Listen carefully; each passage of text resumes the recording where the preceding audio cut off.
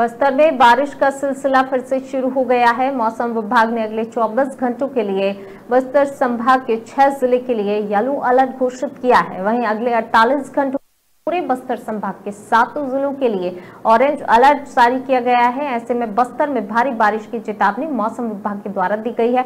मौसम वैज्ञानिक H P Chandra ने बताया कि पश्चिम मध्य बंगाल की खाड़ी और इससे लगी उत्तर पश्चिम बंगाल की खाड़ी, उत्तरी तटीय आंध्र प्रदेश से दक्षिण तटीय उड़ीसा के ऊपर कम दबाव का क्षेत्र बना हुआ है। इसके साथ ही ऊपरी हवा के क्षत्रिय चक्रवर्ती घेरे के भी अगले 36 घंटे में प्रबल होने की संभावना दिखाई दे रही है। ऐसे में कई जगहों पर लगातार बारिश हो रही है। इसके अलावा कई जगहों पर भारी बारिश की चेतावनी जारी की गई है।